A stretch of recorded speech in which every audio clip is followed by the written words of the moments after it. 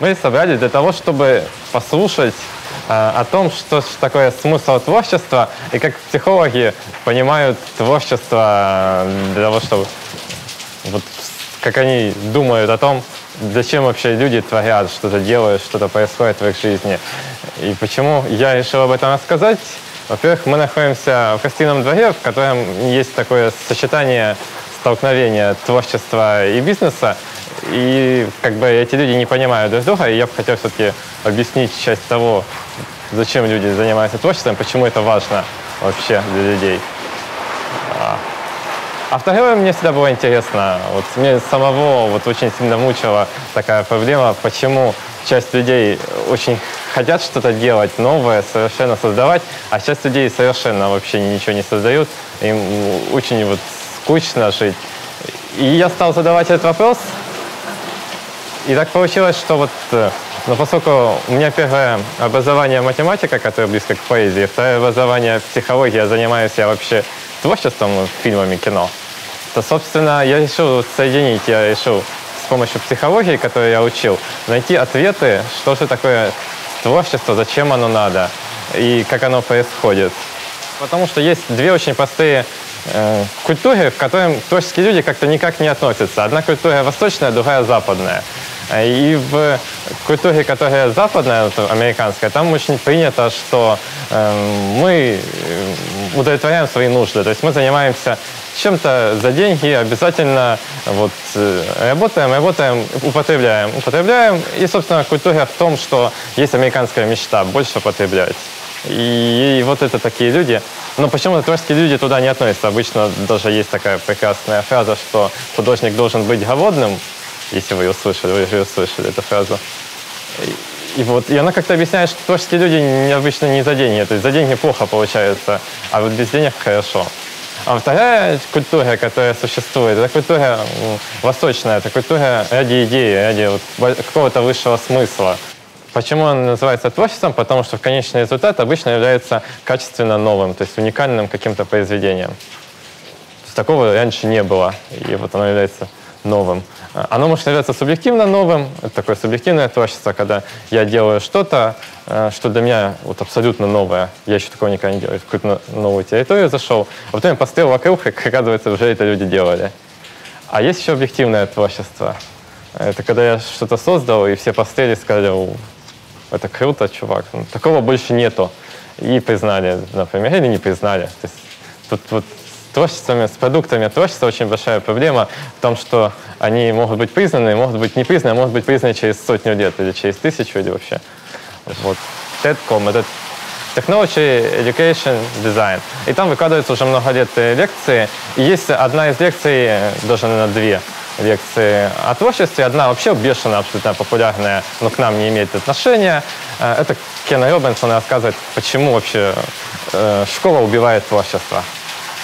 А вторая лекция, которая больше 4 миллионов просмотров, там женщина, она вот рассказывает э, о своих переживаниях творческих. И вот это вот четко, точно показано, насколько творческий человек переживает. Женщину зовут э, Элизабет Гилберт. Элизабет Гилберт. Вы можете ее посмотреть TED, если вы ее видели. О чем она рассказывает? Она рассказывает, что она написала книжку, э, книжку она написала, и книжка вдруг стала бешено популярной. Она не ожидала абсолютно. Вот. И теперь, когда она пишет следующую книжку, ее постоянно мучает э, такая штука в фоне, что я больше не напишу лучше этой книжки. То есть, что теперь меня бросят, меня оплюют, ну вот такое. Я начала, начала искать ответ на что же такое творчество для себя, как с этим что делать. И она нашла такой ответ хороший, как вот она пошла в самую античность. И в античности творчество объяснялось с помощью разных существ, которые творили через человека. Ну, вот вы знаете, э, их музами называли, джинами, как угодно их называли. То есть предполагалось как? Как было объяснение творческого человека? Человек сидит себе, к нему пришла, например, муза или какой-то э, демон, или ну, вот это существо, и, собственно, его рукой написала поэму. И человек не имеет никакого отношения к этому, а вот, вот а, а, а, какая-то некая верх, верхняя сущность. А потом, вот, когда стали развиваться наука и так далее, то, собственно, перешли к объяснению, что есть гены, что у нас есть таланты, таланты развиваются, и, собственно, творческие личности как-то они запрограммированы. Но вот эта женщина, она все-таки для себя определила, что вот, что если она не может написать, это не ее работа. То есть есть некое существо, и это работа пополам с существом с этим. И если этот, вот, она выполняет свою работу, она стоит за компьютером и печатает. И существо тоже в ее понимании должно выполнять свою работу и вселяться как бы в нее, и вести ее через это творчество, и выражать некую сущность через нее. Вот. И я посмотрел эту лекцию достаточно давно, и на меня, во-первых, поразило. То есть эта лекция меня действительно очень поразила. И это было какое-то вот такое сильное открытие, что творчество можно объяснить как что-то, что, чем ты являешься проводником. Вот оно входит в тебя и выходит в мир. А потом стали появляться другие объяснения. В психологии оно где-то точно так же шло. То есть все началось лет так сто с чем-то назад с Фрейда. Фрейд был вот такой, как папа психологии, то есть тот человек, который заложил основы психологии – и если вы знаете, а вы явно знаете Фрейда, его теорию о том, что он сказал, что внутри человека есть бессознательное, некое большее, что, что больше человека, это бессознательное никак не подчиняется вот человеку, оно, наоборот, хочет выйти. И это бессознательно двигается некой э, очень сильной силой, которую он назвал либидо.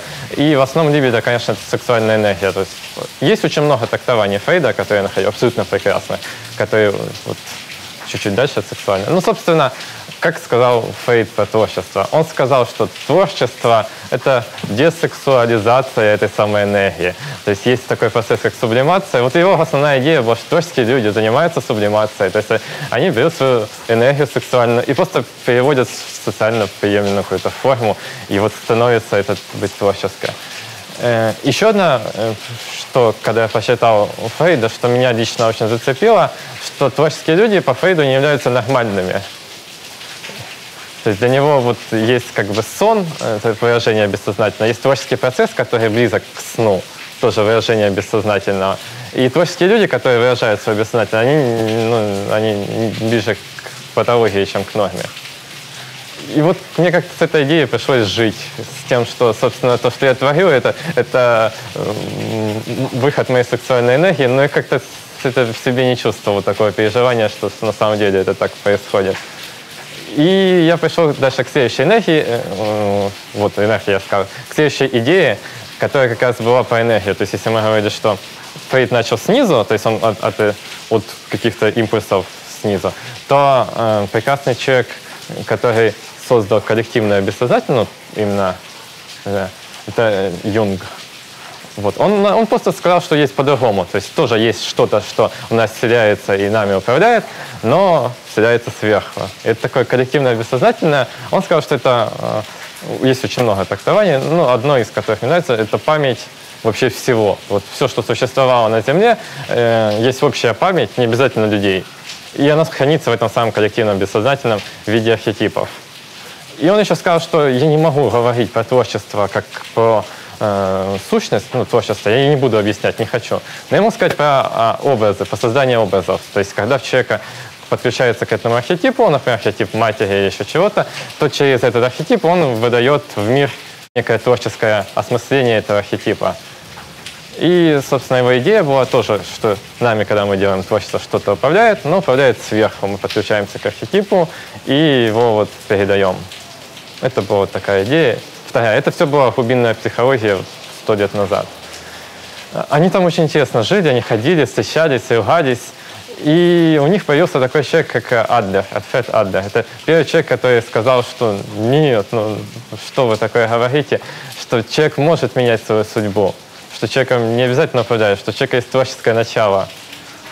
Правда, при этом уже придумал комплекс неполноценности, и его основная идея была в том, что мы все, что мы делаем, делаем из-за того, что у нас была какая-то неполноценность, какое-то переживание, например, в детстве, мы были маленькие, мы были беззащитные, и у нас появился вот этот комплекс, и теперь мы его э, выражаем. И опять же, я подумал, как с этим жить, как вот, ну, что с этим делать. И, и что было? Я понял, что у некоторых людей действительно есть. То есть есть люди, у которых что-то произошло, какая-то, например, травма, и они восприняли это не как личную травму, а как вот несправедливость с обществом. Вот, вот это неправильно в обществе. И они создали это своей целью и, и начали это вот выражать во всем своем и показывать другим людям, что эта несправедливость действительно существует, она действительно есть, и действительно с ней что-то надо делать и так менять творчества. То есть объяснение мне показалось очень хорошим, но не всеобъемлющим. Это была все глубинная психология, это такая первая сила. А психология содержится на трех силах. Это на глубинной, на бихевиоризме и на гуманистической школе, к которой мы потом перейдем. Э, бихевиоризм э, это очень просто. Вот они вообще не стали объяснять творчество, они сказали, что люди это как бы те же самые животные, мы можем с ними с помощью стимула реакции, как собачка Павлова, сделать все, что угодно. И творчество они никак не объясняли. Там, конечно, сейчас есть такие развернутые теории бихевиоризма, которые действительно могут объяснить творчество, но, но нам это не сильно сейчас поможет. Вот, и поэтому мы перейдем к самой прекрасной школе, которая есть в психологии, это гуманистическая школа. Они э, тоже появились вот так же, где бихевиоризм лет 50-60 назад. И они впервые сказали, что на самом деле нет вот такой проблемы, что на самом деле человек творчески по своей природе. То есть именно потому, что мы люди, мы творим. Они что-то нас заставляют. Потом приходит общество к нам и помогает нам быть не творческими. Коммунистическая школа в основном это Масоу и Рюджерс. Масоу вы точно слышали, он пирамиду потребностей придумал. А Рюджерс это был вот очень крутой такой человек, который создал э, терапию личности. Вот. И он, он как раз сказал, что творческие люди, те люди, которые двигают общество. То есть они помогают обществу двигаться вперед. И поэтому общество их не очень любит, не очень вот как-то чтит. И наоборот, в обществе созданы такие э, условия существования, вот как, как в, в этой самой пирамиде, там есть две нижние то есть, э, ступеньки. Ступенька, э, ну, называется потребности дефицитные. То есть ступенька еды, ступенька секса, Э, теплоты и всего такого. Вот. А следующая ступенька — безопасность, предсказуемости. И Масоу пишет, что очень многие люди там и остаются. То есть они никак не выходят за уровень это, этого. Почему они становятся? То есть они пришли в общество, они начали как-то удовлетворять свои потребности, жить, и там и остались. Они не могут перейти на следующие потребности, которые у них точно есть, их это может мучить очень сильно. То есть они чувствуют, что вот там есть высшая потребность уважения, признания, э, потребность любви и причастности к людям, и потребность самоактуализации. То есть выразить полностью свое, все, что в тебе есть. Что, то есть эти идеи мне куда больше понравились, чем те, что были раньше. Но, но потом я посмотрел вот один курс лекций дальше, есть, есть единственный курс лекций по психологии, который стоит посмотреть, я вам советую его посмотреть, я его выложил на XUA. Это запись с Гарварда, то есть есть такой университет Гарвард, там есть такой человек, как Тау Бен Шалар, и он сделал лекции о позитивной психологии. То есть он, он собрал все достижения за последние 20 лет, которые можно назвать позитивной психологией. Есть некое различие. Вот психология, которая была раньше, от позитивной – Психология, которая раньше занималась больными людьми, и, собственно, там была модель болезни. Потому что говорили, что, собственно, к нам приходит человек, и мы его должны лечить, чинить, что-то с ним делать. А позитивная психология наоборот. Она говорит, что люди хорошие, классные, э, здоровые, и к нам приходит человек, и мы должны его сделать еще лучше, еще красивее, еще здоровее, и мы сфокусируемся только на самом лучшем. Есть идея потока. Это вот центральная основная идея, по которой хочу рассказать, э, ее придумал Чиксент Михай. Михай. Если захотят запомнить, можно вот надолго это запомнить. Что он сказал? Он сказал, что люди занимаются творчеством, потому что они чувствуют поток. И осталось понять, что же он имел в виду под этим самым потоком. Он сказал, что если э, есть некое переживание во время творчества, которое в конечном итоге приводит к, к, к удовлетворению, скорее всего. Вот когда поток, например, заканчивается, человек понимает, что он был удовлетворен, что, что он был счастлив. Это одна из частей, которая э, в его исследовании характеризовала счастливых людей. Она характеризовала очень многих людей, то есть он спрашивал и людей на работе, и везде, но больше всего она была у творческих людей. И, а творчество бывает научное, техническое и художественное. Вот он спрашивал, например, музыкантов. И они говорили, что вот когда мы начинаем, например, делать музыку, начинаем что-то создавать, мы входим в такое состояние, что нас начинает нести. И мы вот начинаем ощущать, что вот как те люди, которые говорили в древности, что через нас что-то выражается, вот тут здесь в идее потока мы отбросили, что что-то выражается, но оставили это состояние, состояние э, ощущения легкости, реакции, вот этого бытия. И потом, когда человек выходит, он понимает, что как это было прекрасно. А иногда вот в этом потоке происходит э, изменение резкое, это такое пиковое переживание, которое меняет человека. И это очень легко объяснить, если вот вы были хоть сейчас в театре, а вы были в театре, я думаю. Там есть люди, которые создают спектакль. И они так создают спектакль, чтобы вовлекали зрителей. Зрители попадали в пассивный поток, а они попадали в активный поток. И поток нарастает, несет, несет, и происходит кульминация какое-то изменение. И с некоторыми зрителями может произойти то, что раньше называли катарсис, пиковое переживание, которое меняет их жизнь к лучшему.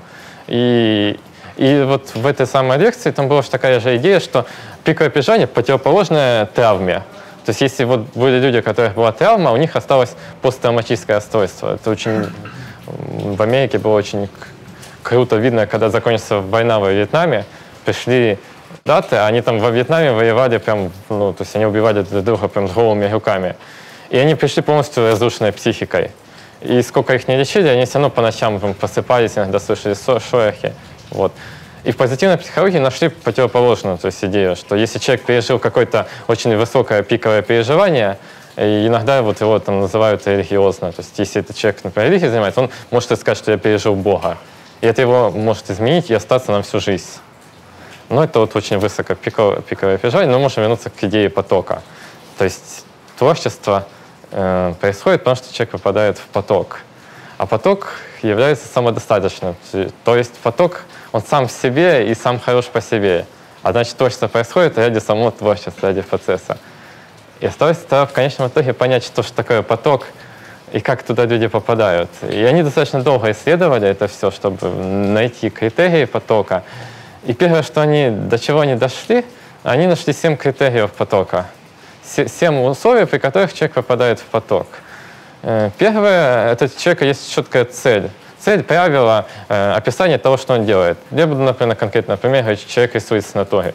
Если человек рисует с натуры, у него конкретная цель – нарисовать то, что он видит перед собой. У него есть конкретная обратная связь. То есть он понимает, что он поставил стишочек, э, совпало. Не совпало – стер. То есть он, он на каждом шаге понимает, что происходит. И тогда он может вот погрузиться в эту деятельность. Второе, что должно произойти, он должен полностью э, серьезно принять эту цель как свою. То есть творческих людей – от нетворческих отличает то, что они могут либо сами себе ставить изнутри цели, его никто не заставляет нарисовать, например, эту картину. Ну, обычно сначала, конечно, наставляют, но потом не заставляют.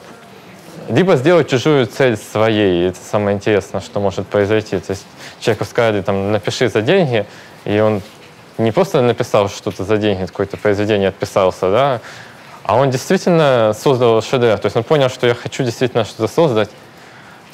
И вот третий критерий после того, как человек выбрал, что он хочет сделать, отнесся к этому как, к своему, к своей цели, как очень серьезному там. То есть он вот он вошел в такое вот закрытое пространство, в котором ничего больше не важно. Важно только вот это действие, только этот его творческий процесс, только это создание. И после того, как он там оказался, он, он тут начинает понимать, что, и, что его закрывает в этом всем, что мир отодвигается, а его сознание расширяется. И вот это вот тоже часть расширения сознания до самой деятельности является очень уже вот первым хорошим переживанием, которое есть. То есть, когда человек находится в потоке, он сливается с деятельностью. Человек, когда рисует, когда играет музыку, когда танцует, он как бы не он исчезает сам по себе, исчезает я человека. Появляется вот процесс, по которому он просто в нем существует. И вот это вот э, это единение, вот оно является очень хорошим переживанием единения. И следующее — это переживание чувства полного контроля, которое вот в хаотическом мире не хватает. А когда ты занимаешься творчеством, ты чувствуешь, что у тебя все под контролем. Ты как бы ты делаешь, и ты, вот, ты можешь все контролировать, и ты как бы... Ну, это, конечно, может быть ложное чувство, но в потоке оно есть. Человек, когда создает, рисует картину, он понимает, что вот он, он рисует, и он вот полностью властен в этой своей маленькой реальности, которую он создал как люди оказываются в потоке. Люди оказываются в потоке только если они тратят себя. То есть если человек хоть чуть-чуть начинает давать себе какое-то попущение, но то есть он делает что-то в полсилы, он выпадает из потока. То есть он должен все время э, находиться в неком балансе. Вот если взять здесь навыки, э, то есть вот умение, я умею делать, и сложность того, что я делаю, то если оно становится слишком сложное, то я начинаю бояться. То есть если у меня жизнь вот сложная, э, если мне сразу сказали, там, нарисую Монолизу, а я даже не держал никакой карандаш, понятно, что я не нарисую ее, я никак не попаду в поток, потому что задание выше меня. А с другой стороны, если мне скажут нарисуй там 15 линий, которые я могу нарисовать, то это задание очень скучное. И поэтому я опять же не попадаю в поток. То есть если нек- некие вот люди поставили цель, посчитали ее важной, э, включились в эту деятельность так, что исчез весь остальной мир, и начали делать на полной отдаче. Как только они начали делать на полной отдаче, они слились со своей деятельностью, попали в этот самый поток, стали чувствовать чувство контроля, и исчезло чувство времени. Почему, кстати, э, для меня это оказалось очень необычным открытием, потому что это как все переживают, но никто это не замечает, потому что это вот оно смывается из-за чувства времени. Я потом стал замечать, что вот когда я действительно что-то делаю, например, когда я сейчас рассказываю, тоже у меня, вот я нахожусь в потоке, и, и я не сильно задумываюсь до какого-то момента, что происходит. И точно так же, когда я пишу сценарий, например, я сажусь и пишу его, если правильно подготовиться. Вот. А после этого, когда я заканчиваю, например, сценарий писать, я, я чувствую очень с одной стороны, облегчение, что все-таки все закончилось, а с другой стороны, большой радость, что у меня это получилось, что вот я достиг нового, и для меня это творческий результат. Здесь смысл именно потока и всего, что люди, оказываясь в абсолютно ненормальных условиях, обретали контроль. Они как бы контроль, хотя ими там всеми помыкали, все с ней, у них появлялось чувство контроля, чувство этого самого потока, чувство жизни и чувство радости и переживания того, что с ними происходит. То есть они наполняли свою жизнь вот этим переживанием, и их жизнь становилась не, не такой вот несчастной. И а. человек творческий, насколько он может превратить все, что плохое с ним происходит, из, из ужаса в что-то хорошее. То есть найти, как поставить себе цель, как, как взять контроль, как это все сделать, как войти в поток, как сотворить на основе того, что новое, качественно новое или некачественно новое.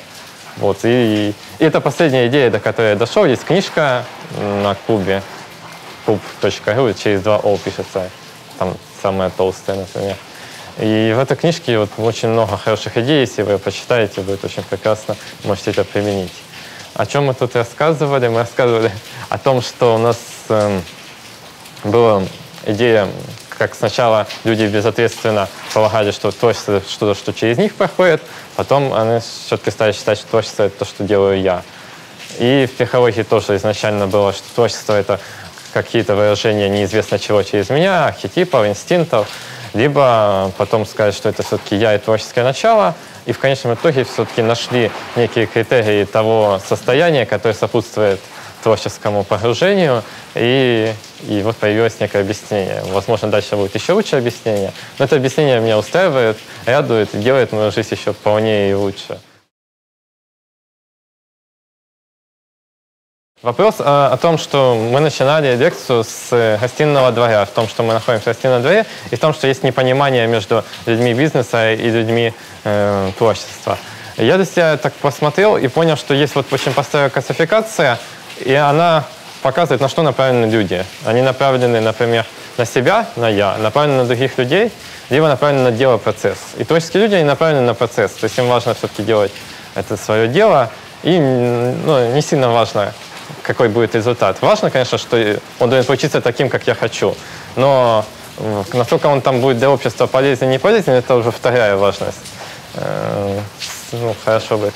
Э, у людей бизнеса они обычно направлены на себя, то есть они находятся вот в этой самой культуре э, потребления.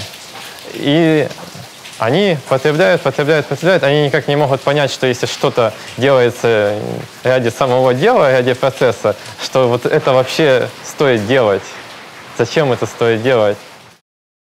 Люди обычно очень плохо с этим переживают. И, всегда, вот много веков было принято всякие э, ритуалы, которые как бы расширяли сознание. То есть сесть, вот, э, выпить алкоголь, сесть покурить. То есть, на самом деле там вот в это же самое же идея потока, что поток расширяет сознание, а вещества как бы сужают основное сознание, и тогда из этого суженного твое обычное сознание кажется расширенным поток. То есть вот когда команда что-то делает, они начинают делать как бы без слов, понимая друг друга. То есть вот у них такая реакция движений, и они прям синхронизируются вместе, и тогда это общий поток. Да, но а если вот э, то, что ты говоришь, аэропорт, это психология. То есть если взять НЛП, они понимают, как два человека находятся в потоке, но это поток не творчества, это поток общения. когда два человека общаются, и они находят какую-то общую цель, интересы, или вместе что-то делают, они входят тоже в общий поток.